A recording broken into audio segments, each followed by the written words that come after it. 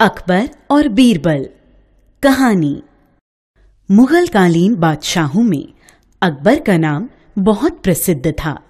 अकबर के दरबार में अनेक विद्वान मंत्रियों में बीरबल भी एक मंत्री थे। बीरबल बहुत चतुर और बुद्धिमान थे। बादशाह प्राय बीरबल से ऐसे कठिन प्रश्न पूछा करते थे, जो समस्या के रूप में होते थे और बीरबल उन प्रश्नों के उत्तर बड़ी तर्कपूर्ण ढंग से दिया करते थे। इसी क्रम में एक दिन बादशाह ने सोचा कि बीरबल से कोई ऐसा प्रश्न पूछना चाहिए जिसका उत्तर देने में उन्हें कठिनाई हो। इस तरह कुछ दिन बीत गए। एक दिन बीरबल अपने घर जा रहे थे। उन्होंने एक गरीब बालिका को देखा।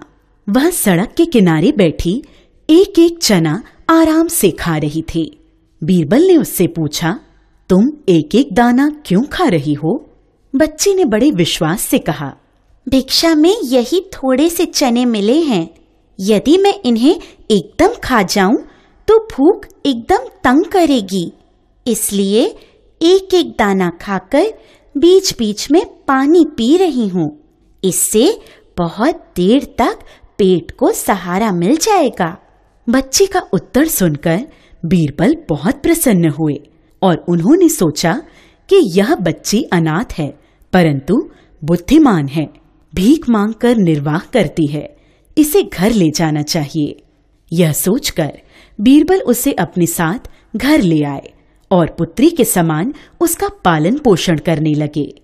थोड़े ही दिनों में अच्छा खाने पीने से लड़की हृष्ट पुष्ट हो गई। वह भी बीरबल के समान ही कठिन प्रश्नों के उत्तर सरलता से दे देती थी। एक दिन बादशाह अकबर ने बीरबल से एक साथ तीन प्रश्न पूछ डाले। ईश्वर कहाँ रहता है? ईश्वर कैसे मिलता है? वह क्या करता है? बीरबल के लिए तत्काल तीनों प्रश्नों के उत्तर देना संभव नहीं था। इसलिए उन्होंने कहा, जहाँ आपने कई दिनों के बाद सोचकर प्रश्न किए हैं। अतः मुझे भी उत्तर देने के लिए कुछ समय तो मिलना ही चाहिए।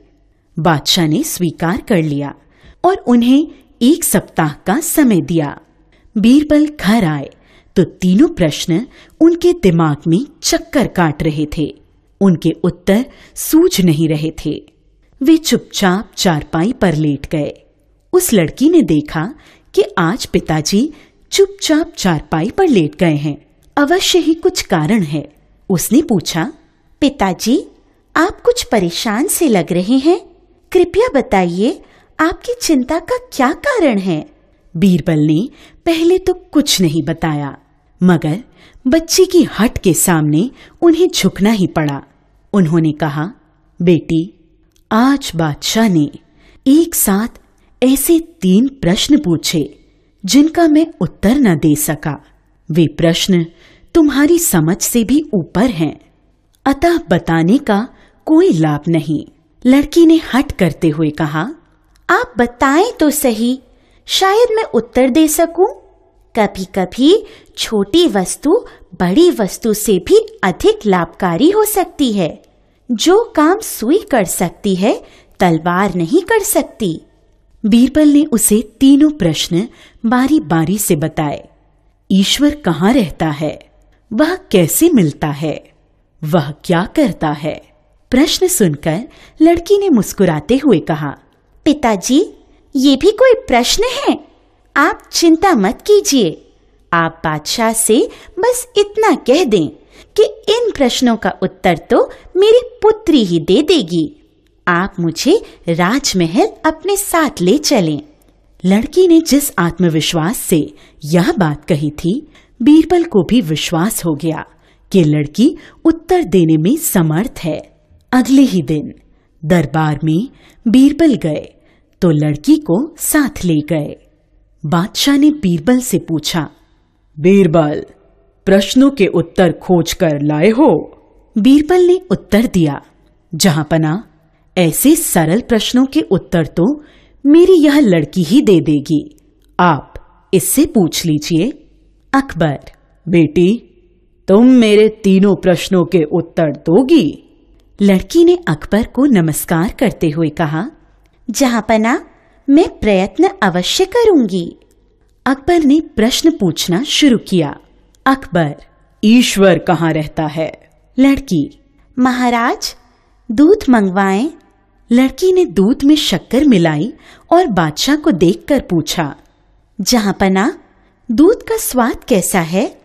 अकबर, मीठा।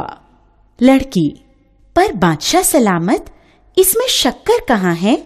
अकबर, शक्कर तो घुल गई, सारे दूध में शक्कर है।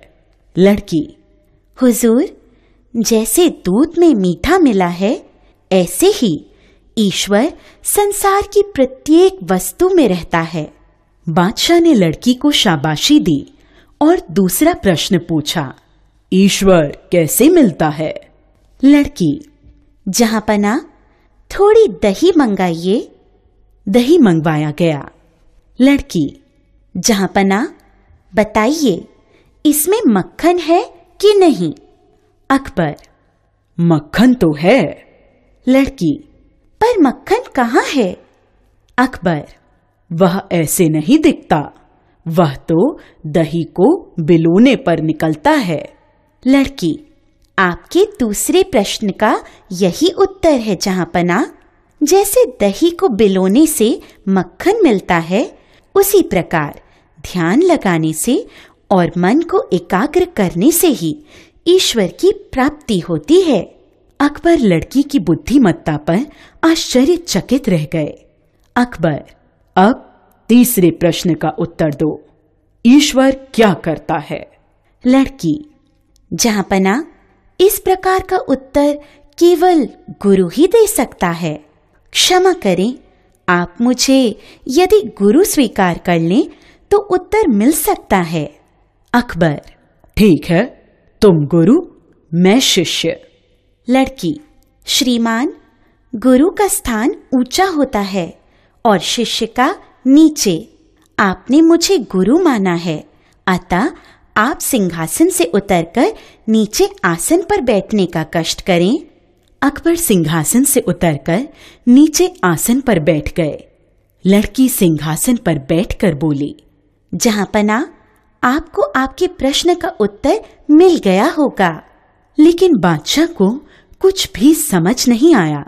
लड़की, बादशाह, इस समय आप नीचे बैठे हैं और मैं गरीब लड़की आपके सिंहासन पर बैठी हूँ। ईश्वर यही करता है। वह कभी बादशाह को भिकारी और कभी भिकारी को बादशाह बना देता है। अकबर ने लड़की की सूझबूझ और बुद्धि की बहुत प्रशंसा की। और उसे अनेक उपहार भेंट स्वरूप दिए।